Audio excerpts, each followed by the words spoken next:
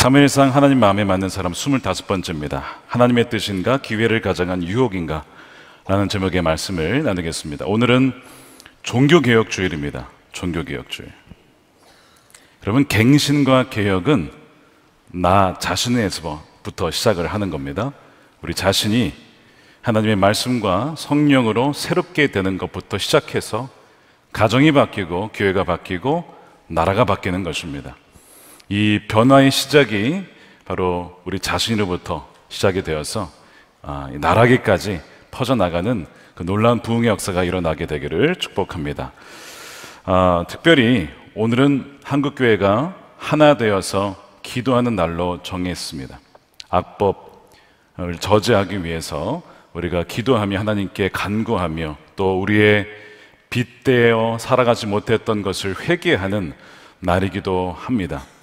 어, 여호수아가 전쟁터에서 나가서 전투할 때 어, 모세는 산에서 어, 기도하였죠. 지금 우리 목사님들과 또 우리 성도님들이 광화문에 가서 또한 참여하러 가고 있는 걸로 알고 있습니다. 그리고 또 여러 가지 사정상 가지 못하는 분들은 부르신 곳에서 또 온라인에서 마치 모세가 두 손 들고 기도한 것처럼 함께 꼭 나라를 위해서 기도해 주시기를 부탁을 드립니다.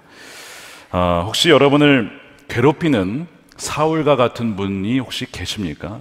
아, 직장이나 또 인간 관계 속에서 혹시 그분이 배우자는 아니시죠? 아, 그런 분이 계실 때 그런 분에게 좀 그 복수할 수 있는 기회가 주어진다고 했을 때 여러분 어떻게 하시겠습니까?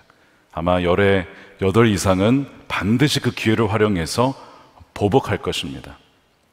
아, 드디어 오늘 본문에 보면 계속 쫓겨다니던 다윗에게 바로 그 기회가 주어집니다. 아, 사울이 블레셋과의 전투에 돌아온 다음에 군사 3천 명을 모아서 들림서 바위라고 하는 이 엥게디 광야, 이스라엘의 동쪽입니다. 거기에 왔어요. 그래서 이제 다윗을 찾으라고 하는데 마침 사울이 이 생리 현상이 일어났는데 이큰 거에 일어나 가지고 혼자서 어, 어디서 이거를 처리해야 되나 굴을 찾다가 한 굴을 들어가게 됐는데 그 굴에 누가 있었습니까? 아, 다윗과 그의 군사들이 그 굴에 들어가 있었던 거예요.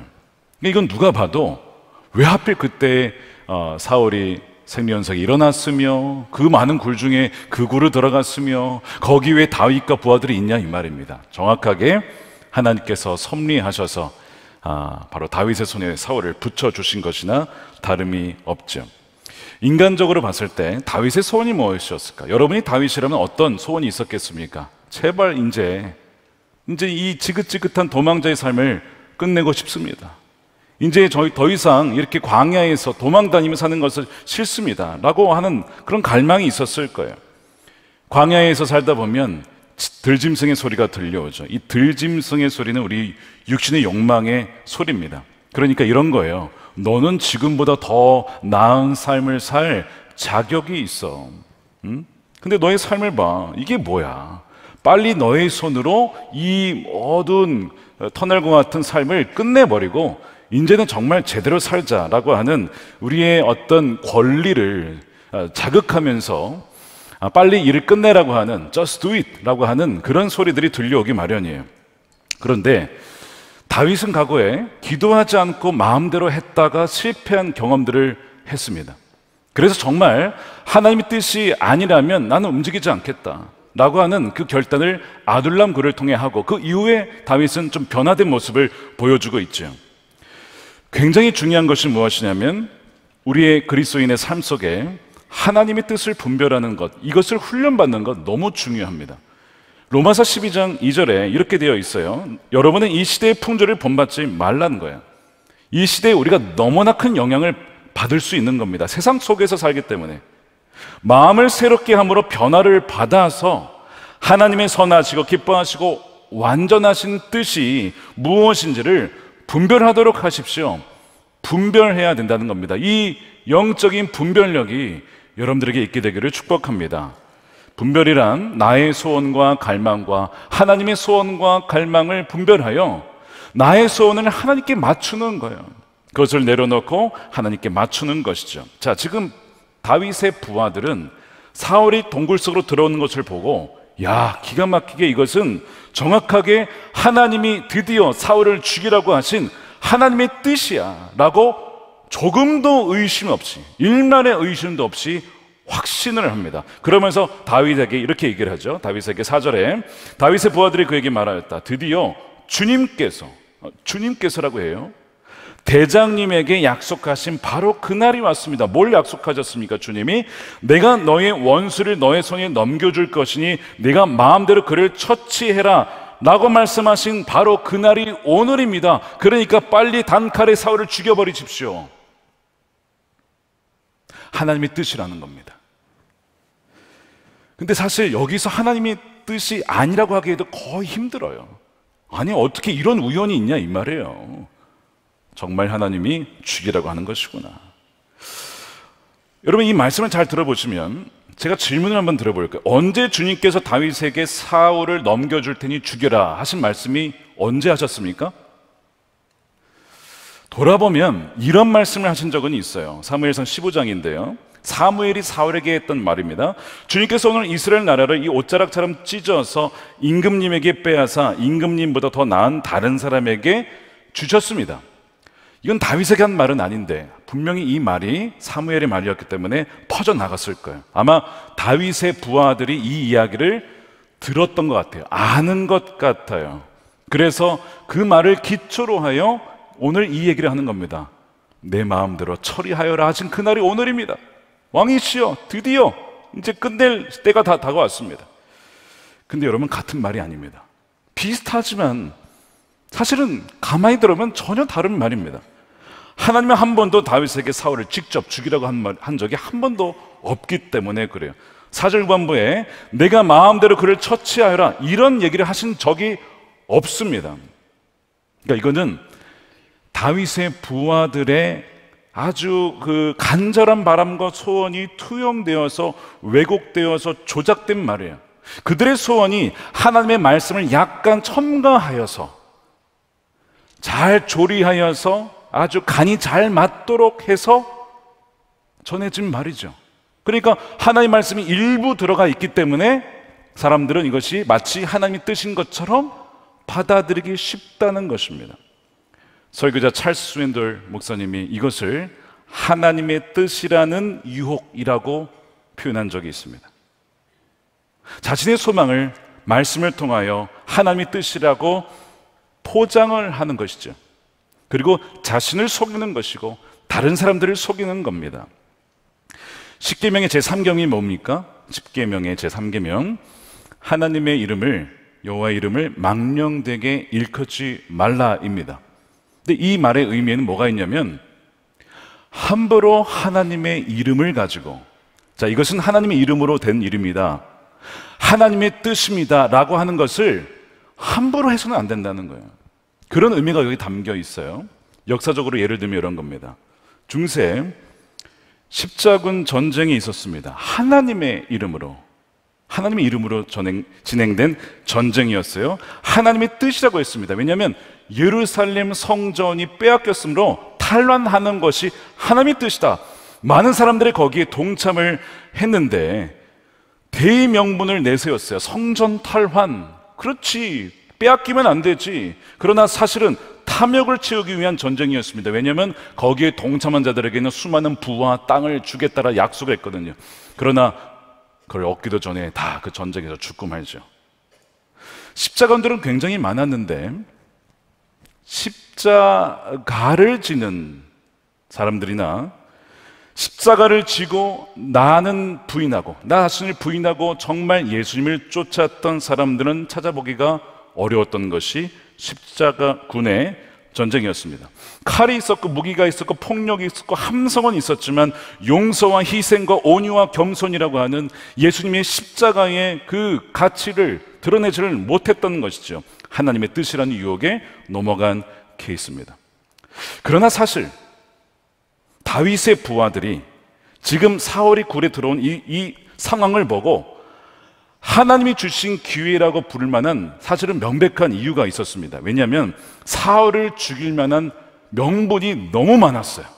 대표적으로 세 가지만 꼽아본다면 첫 번째, 사울은 노베 제사장들과 그 마을 사람들을 학살하라고 명한 장본인입니다. 그러니까 그 사, 그런 악한 왕은 죽여도 된다. 이게 첫 번째 명분. 두 번째, 이 미친 왕 사울을 지금 제거하면 온 이스라엘이 평화를 얻고 주님께로 회복될 수 있다라고 하는 가능성과 희망이 있어요. 세 번째, 더더욱 결정적으로 이미 다윗은 기름 부음을 받았어요. 이미 차기 왕권 후보가 된 거죠. 그래서 이미 기름 부음 받았기 때문에 하나님께서도 사울의 나라를 넘겨준다고 하지 않았습니까? 그러니까 지금 이 자리에서 사울을 죽여도 전혀 문제가 없는 것이죠. 그러니까 이것은 다윗에게는 엄청난 기회로 어, 보이는 거예요. 단 하나를 제외하고. 자, 이제 이것이 우리의 오늘 본문의 포인트가 되겠습니다. 단 하나를 제외하고. 모든 상황과 여건과 주위 사람들의 말과? 우리를 사랑하는 이들의 말과 모든 것은 모든 이정표가 한 것을 가리키고 있는데 단 하나만 다른 것을 가리키고 있어요. 그게 뭐냐? 말씀입니다. 말씀은 기름 받은 자를 직접 죽이라는 것을 그를 금하고 있어요. 이것이 굉장히 갈등이 되는 포인트입니다. 여러분 우리가 살면서 하나님 뜻이 무엇일까를 분별하다 보면 사실 말씀은 너무 모호할 때가 있어요. 그래서 어떻게 주로 하냐면 마치 이 환경 속에 우연히 벌어질 수 없는 상황이 벌어졌을 때 마치 사월이 굴에 들어온 것처럼 그것을 하나님의 뜻이라고 해석하고 싶은 그런 유혹이 있습니다. 어떤 여성이 직장에 갔는데 너무 멋진 남성을 봤어요. 가슴이 뛰고 그 남자도 나를 좋아해. 야, 이런 만남이 정말 하나님 선물적인 만남이구나 좋아하는데 이 여인은 이미 결혼한 사람이에요. 그러면 어떻게 해석해야 돼, 이거를? 성경 뭐라고 하고 있어요? 그건 간음이다라고 얘기를 하고 있어요. 그렇죠? 왜? 이미 결혼을 했으니까.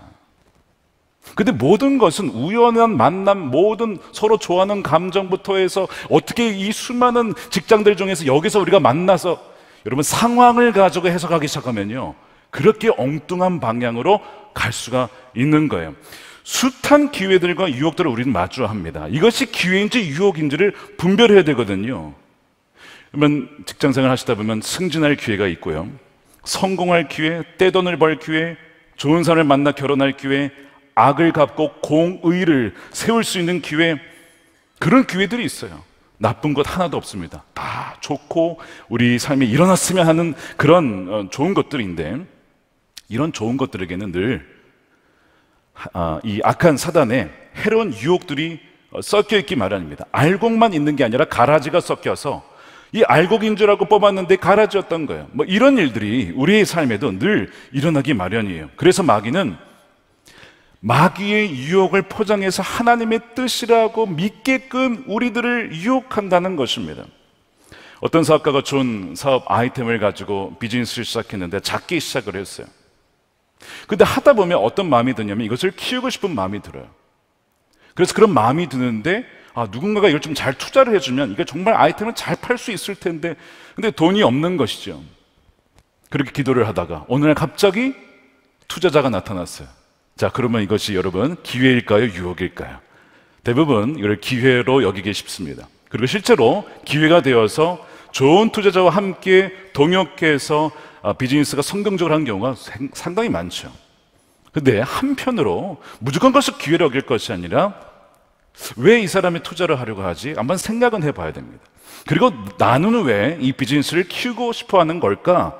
내 마음의 동기는 무엇일까? 여러분, 그것을 분별해야 되는 거예요. 더 중요한 것은 하나님의 뜻은 무엇일까? 하나님 나를 어떻게 인도하기를 원하실까를 물어야 되는 거예요.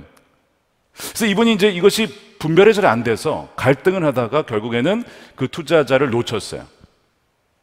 그런데 시간이 지나고 보니까 그 사람이 사기꾼이었어요. 그게 밝혀졌어요. 나중에 목사님 너무 감사해요. 사기꾼이었어요.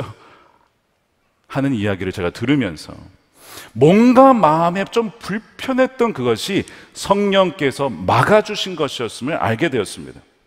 요나가 니누에로 가라고 한 하나님의 말씀을 거역합니다. 그리고 정반대로 가요. 여러분, 우리가 이런 경우가 있죠. 하나님, 이게 하나님 뜻이 아니면 좀 막아주세요 하고 자기 마음대로 막 합니다. 하나님의 뜻이 아니면 저를 막아주실 거예요. 그럼 막 달려가죠. 요나가 그런 식이었어요. 니누에 싫어. 그냥 다시스로 가는데 이 다시스로 가는 것이 하나님 뜻이 아니라면 하나님 처럼 막아주십시오. 항구에 갔더니 마침 배도 있어, 선원들도 있어, 날씨도 너무 좋은 거야. 모든 것이 다 열려 있어요. 아, 하나님 나 막지 않으시네. 만나보다 하고 다시스로 가다가 어떻게 됩니까? 풍랑을 만나서 바다에 빠져 이제 죽게 되는 위기에 처하게 되는 겁니다. 그러니까 여러분, 우리의 상황이 열려 있다라고 해서 무조건 아, 하나님이 길을 열어 주시는구나. 여러분 그렇게만 판단하면 정말 큰일 나는 겁니다. 어떻게 보면 오늘 이 굴속에 들어온 사울의 이 상황은 하나님이 다윗의 마음을 알아보시기 위해 테스트 하시는 겁니다. 이게 첫 번째 테스트고 26장에 한 번 더 테스트가 진행이 돼요. 왜 두 번이나 하실까? 너무나 중요한 거예요. 왜 하나님 마음에 맞는가?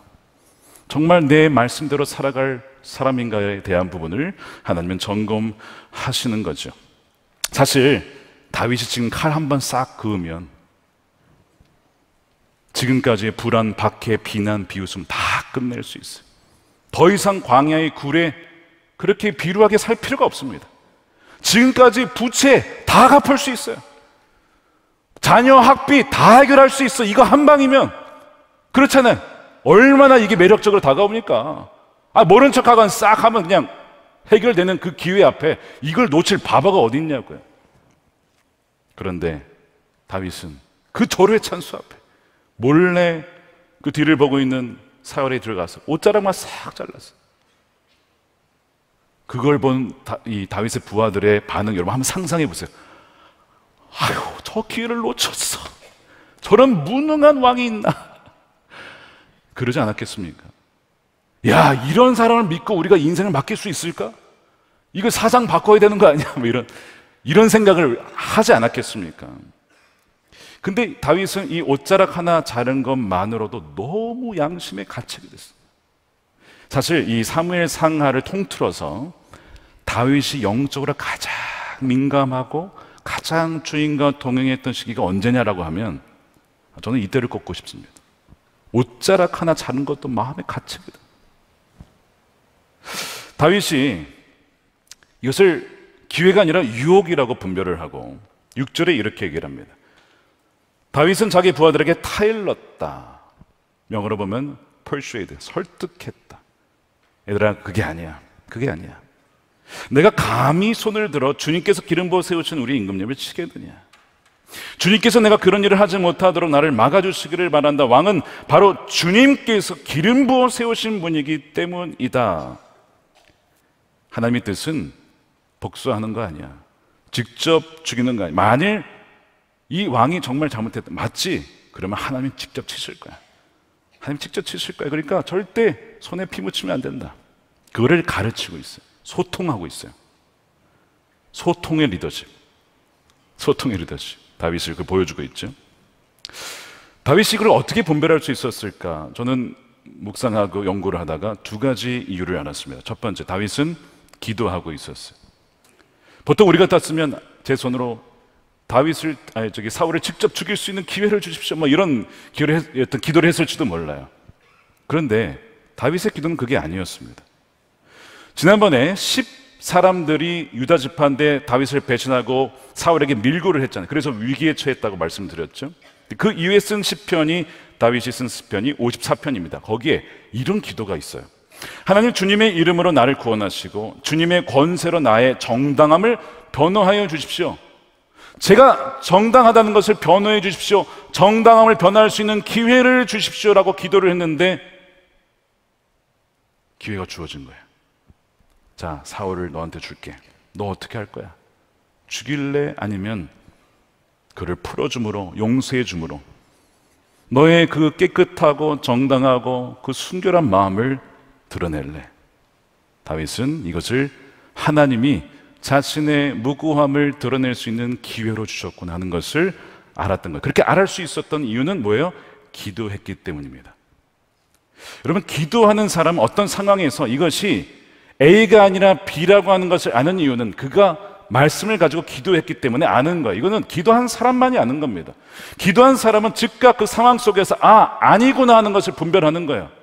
그러나 기도하지 않은 이 부하들처럼 그냥 상황만 보면 아, 이거는 이건 죽여야 된다 이렇게 판단을 하는 거예요. 아, 이거는 정말 이 대박 기회다. 라고 했다가 사기를 당하고 넘어갈 때가 얼마나 많은지 몰라요. 기도였다는 겁니다. 근데 더 나아가서 더 근본적인 이유가 바로 하나님의 말씀이 있었어요. 다윗이 그렇게 기도하지 않은 이유는 아까 말씀드린 것처럼 여호와의 기름 부음 받은 종을 해하는 것을 하나님이 금하고 있고 그거를 절대 해서는 안 된다는 것 성경 곳곳에서 말하는 것을 다윗은 알고 있었기 때문이죠. 예를 들면 민숙이나 출애굽기나 모세의 권위에 대해서 미리암이 한번 제기를 했다가 병에 걸리죠. 고라 자손들이 반기를 들었다가 지진이 나서 죽습니다. 내가 선택한 종인데 만일 이 종에게 문제가 있으면 내가 직접 칠 것이다. 라고 하면서 그 리더십에 대한 어떤 저항에 대해서 하나님이 정리를 해줬어요. 근데 그 부분을 다윗이 알았던 것 같아요. 그 말씀에 기반해서 결정했던 것이고 말씀에 기반해서 기도를 했던 거예요. 물론 여러분 분별할 때 말씀으로 기반한다고 해서 다 맞는 건 아닙니다. 왜냐? 사탄도 우리에게 말씀을 가지고 인용할 수 있기 때문에 그래요. 자, 예를 들어서 광야에서 예수님께 다가온 마귀가 유혹을 할 때에 성경을 인용합니다. 자, 이거였어요. 마태복음 4장 6절이죠. 내가 하나님의 아들이거든 여기에서 뛰어내려 보아라. 성경에 기록하기를 야, 마귀도 성경을 인용합니다. 그러니까 여러분 어디서 성경 구절이라고 해서 무조건 믿으시면 안 돼요. 이것이 정말 그 뜻이 맞는지 문맥을 봐야 되고 이것이 성경에서 말한 바가 맞는지를 해석하지 않으면 속기 마련이에요. 이 사탄이 인용한 이 구절은 10편 91편입니다. 정확하게 인용을 했는데 뭐가 틀리냐면 뛰어내려봐라, 시험해봐라. 이 구절은 없어요. 마귀는 성경의 90%를 인용하고 10%를 틀어서 바꾸는 거예요. 여러분, 이단의 특징이 뭐죠? 성경을 쓴다는 겁니다. 여러분, 여기 이제 막 이 복정동뿐만 아니라 여기 중앙 위에 가면 이단들이 돌아다니면서 말씀을 막 전도를 해요. 가만 보면 다 성경 구절이에요. 근데 마지막에 다른 거야. 마귀가 쓰는 방식이에요, 이것이. 성경을 가지고, 성경이 이게 돼 있지 않냐. 어, 6월절 지키라고 하지 않냐. 지금부터 6월절 지켜야 된다. 이러면서 이렇게. 성경을 쓴다고 해서 무조건 맞는 건 아니에요. 그래서 우리가 분별의 훈련을 해야 된다 이거예요. 성경이 뭐라고 말하고 있는지를. 다윗이 이 말씀을 가지고 분별하는 것은 직접 그 사울을 죽이는 것은 하나님께서 금하시는 것임을 알았어요. 물론 사울이 불의한 왕이었지만 불의한 것은 맞지만 이 왕이라고 하는 권세는 하나님으로부터 온 것이기 때문에 그 권위에 대해서는 복종을 하는 것. 물론 사울의 인격에 대해서는 복종할 수 없었지만 하나님이 세우신 권위에 대해서는 하나님께 속한 것이므로 그 지위에 순종하겠다는 거예요. 그래서 나중에 오늘 본문에 보시면 나중에 이제 동굴을 나간 사울에게 다윗이 나가서 거리를 두고 나간 다음에 절을 합니다. 사울에게. 절을 해요. 여러분 이 태도를 잘 보셔야 돼요. 사울이 분명 악한 왕이에요. 불의한 왕이에요. 그러나 그의 태도는 기본적으로 리스펙트한 부분이 있어요. 왜요? 권위는 다 하나님이 주신 거거든요. 로마서 13장 1절에 사람은 누구나 위에 있는 권세에 복종해야 합니다. 라는 말씀이 있죠. 모든 권세는 하나님께로부터 온 것입니다. 이미 있는 권세들도 하나님께서 세워주신 것입니다. 그러므로 권세를 거역하는 사람은 하나님의 명을 거역하는 것입니다. 거역하는 사람은 심판을 받게 될 것입니다. 베드로전서 2장 18절입니다. 하인으로 있는 여러분 급기 두려운 마음으로 주인에게 복종하십시오. 선량하고 너그러운 주인만 아니라 까다로운 주인. 영어로 보니까 불의한 주인. The unjust. 불의한 주인에게도 그리하라는 거예요. 너무 이해하기 어려운 말씀이에요. 말도 안 되는 말씀이에요. 근데 한번 생각해 보세요. 빌라도 불의한 왕이었습니다. 종독이었습니다. 근데 예수님이 뭐라고 하시냐면 하늘에서 주지 않았더라면 너에게 이런 권세가 없어. 나를 해할 권세가 없어. 근데 하나님이 주셨어. 나를 죽이라고. 그런 권세를 주셨으니 내가 그 권세에 복종한다. 예수님이 빌라도의 권세 아래 죽임을 당하시는 거예요. 그래서 하나님은 그 불의한 권세조차도 합력하여 선을 바꾸셨어. 선으로 이루셨어. 십자가를 통해 인류의 온 구원의 문을 여시는 겁니다. 기가 막히죠? 불의한 권세 그 위에 하나님의 통치의 권세가 강력한 권세가 있다는 것입니다. 여러분들에게 이런 믿음이 있게 되기를 축복합니다. 그런데 심각한 질문 하나 더 있어요. 그러면 이런 사활과 같은 불의한 권위에 무조건 복종해야 됩니까? 여러분, 마지노선이 있습니다. 마지노선이 무엇이냐면 국가나 불의한 권위에 대한 순종이 하나님께 대한 불순종을 유발하기 전까지만 복종하는 거예요. 만일 하나님께 대한 불순종으로 이어간다면 거기에 대해서는 반드시 저항해야 됩니다. 성경에 그런 예가 많아요. 바로 왕이 출애굽기에 아기들을 죽여라고 했어요. 히브리 산파들이 진짜 믿음이 좋아요. 안 죽이는 거야. 지켜냈어요. 그 중에 하나가 모세 아닙니까? 대범하죠. 걸리면 죽는 건데요. 다니엘과 세 친구들이 금신상에 절하라. 거기에 거절합니다. 차라리 죽을지언정 나는 그렇게 못한다 이거죠.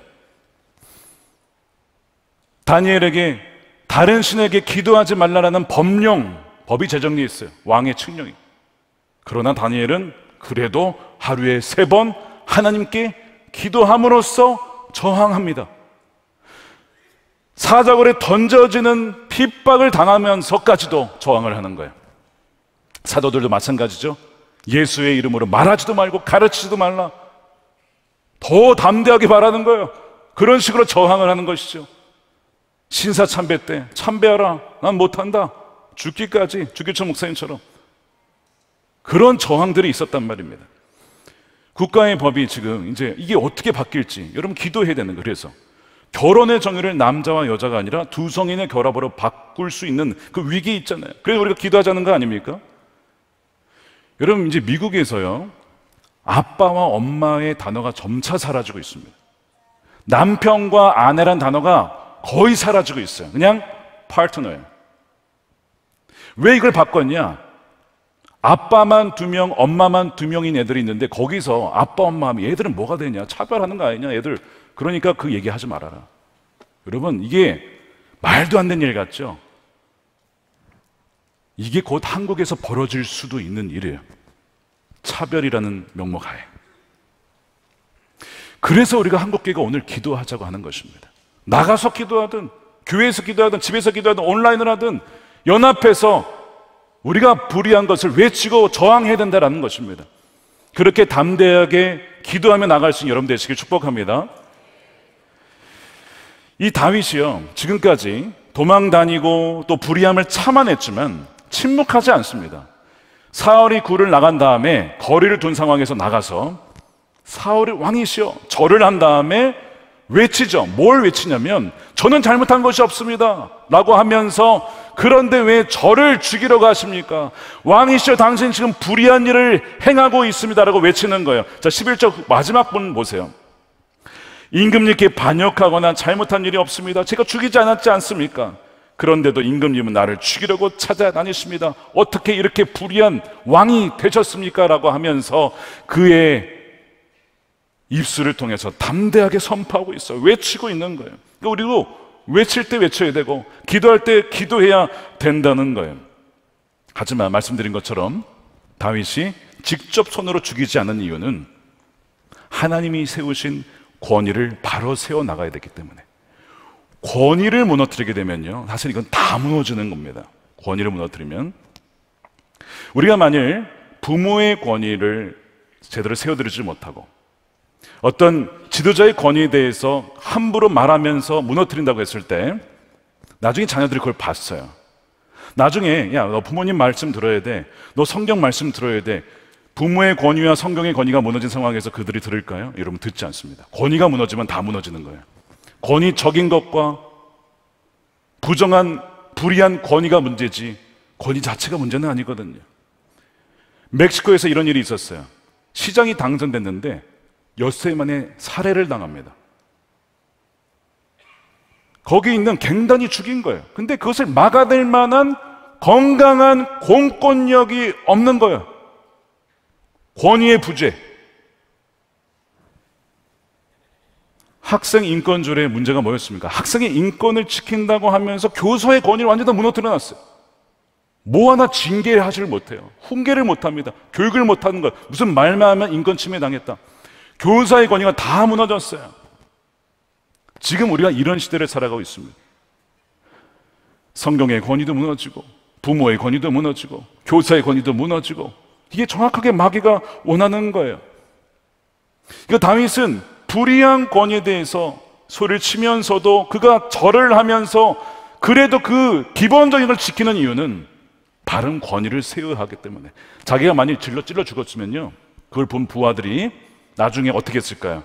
다윗이 좀만 잘못하면 다 찔러 죽였을 거예요. 바세바 가늠, 야 우리 아이 아내를 취했어 이런 왕이 다 있어 찔러 죽여버려. 분명히 그랬을 거라고. 불의한 권위는요 하나님 반드시 친히 다루십니다. 그 나중에 26장 우리가 다루겠지만 다윗이 어떤 믿음이 있냐면 하나님이 그를 그냥 어디서 죽게 하든지 뭐 전쟁터에서 죽게 하든지 그렇게 분명히 다루실 것이다. 그런 믿음이 있어요. 그러면서 자기의 손으로 직접 죽이는 걸 하지 않습니다. 13절에 옛날 속담에 악인에게서 악이 나온다 하였으니 내 손으로는 임금님을 해야지 않겠습니다. 이게 무슨 의미냐? 내가 만약 사울을 직접 죽이면 나도 하나님 말씀을 어기면 악인이 된다. 그러면 그 악인이 되면 거기서 또 악이 나오는 거야. 새로운 사울이 등장하는 거야. 다윗은 그 위험성을 알고 있었어요. 그래서 사울을 직접 죽여서 죽임으로써 내 자신이 악에 의해서 삼킴 당한 바 되는 것을 피하기 위한 선택을 지금 하고 있는 겁니다.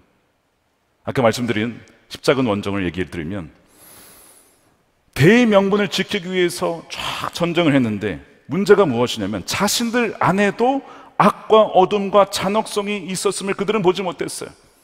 이슬람 세력을 멸해야 된다. 와, 죽이자 하는데 그들이 이제는 새로운 악이 되어버린 거예요.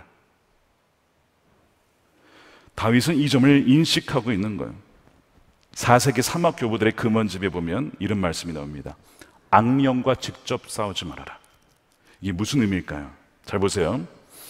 악의 세력과 정면 대결하려면 영적으로 성숙해야 되는데 그만큼 영적으로 성숙한 사람이 많이 없다는 겁니다. 그래서 성숙하지 않은 사람이 악과 직접 대결하다 보면 자신이 점점 악해진다는 거예요. 여러분 이 얘기가 어디 나오냐면 반지의 제왕 영화 보시면 사우론이라고 하는 악에 대항해서 프로도와 친구들이 선의 결, 어떤 그 그룹을 만들죠. 공동체를 만들어서 대항하기 위해서 이제 여정을 하는 거예요. 근데 여정을 가만 보면 나중에 점점 얘들이 탐욕스러워지고 서로 시기하고 의심하고 서로 막 죽이고 이게 변해갑니다. 팀이. 여기는 악이고 선인데 어느덧 누가 악이고 선인지가 잘 구분이 안 될 정도로 점점 물들어가요. 나중에 물론 깨어나긴 하지만 이걸 지금 잘 보여주고 있죠. 그래서 사막 교보들이 무슨 얘기를 하냐면 자, 핵심입니다. 악과 싸울 때 어둠의 왕자에게 너무 많은 관심을 쏟는 대신 빛 대신 주님에게 더 많이 집중해야 합니다. 말씀 앞에 주님의 임재 앞에 주님과 함께하는 일에 더 많은 에너지를 써야 됩니다. 그 얘기를 하고 있는 거예요. 그리하여 간접적으로 그러나 필연적으로 어둠의 세력을 좌절시키라라고 하는 것을 제자들에게 충고하는 거예요. 악이 힘으로 대결한다고 해서 힘으로 대결하려고 하지 말고 선으로 악을 갚으며 빛으로 어둠을 이기라. 동성의 쓰나미 처럼 물결이 밀려옵니다. 악과 싸워야 돼요. 말씀드린 것처럼 아빠, 엄마의 단어도 점차 사라져가고 남편, 아내도 사라져가고 이제 이 임신한 임신하고 출산하는 걸 우리는 엄마가 되었다라고 하는데 엄마 말을 안 해요. 출산한 사람, 왜? 트랜스젠더도 해야 되니까.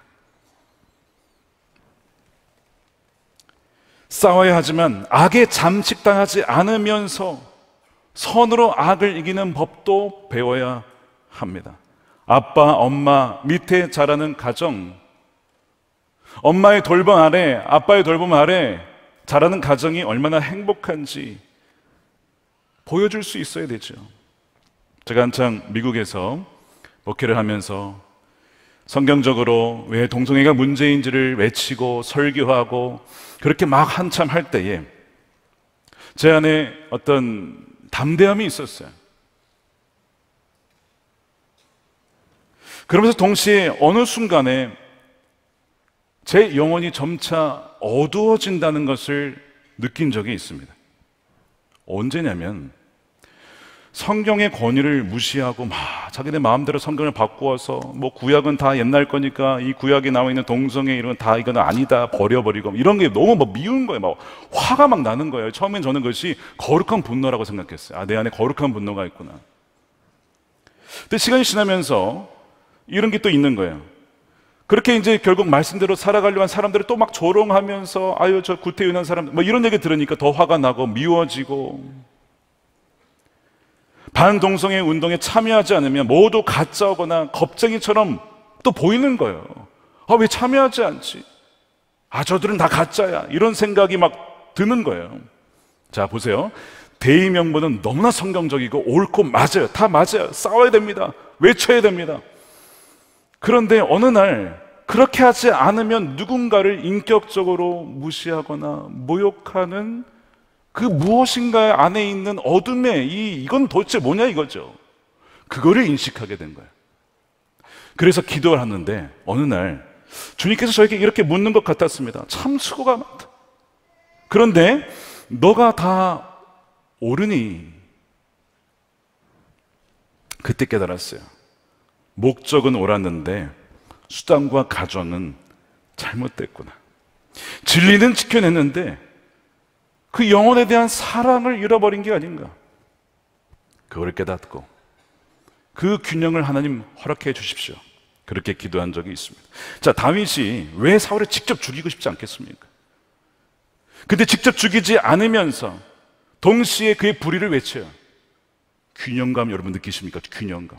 하나님의 권위에 인정하면서 불의에 대해서 외치는 이 균형감 말입니다.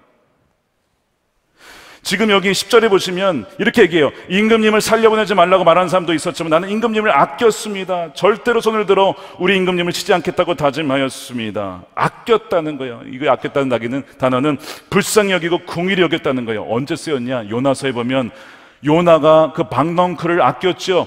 그러니까 하나님께서 뭐라고 하시냐면 하물며 내가 니느웨의 그 악인들이요 다 악한 사람들이죠. 어떻게 보면 내가 이 니누의 사람들을 어찌 아끼지 아니하겠느냐.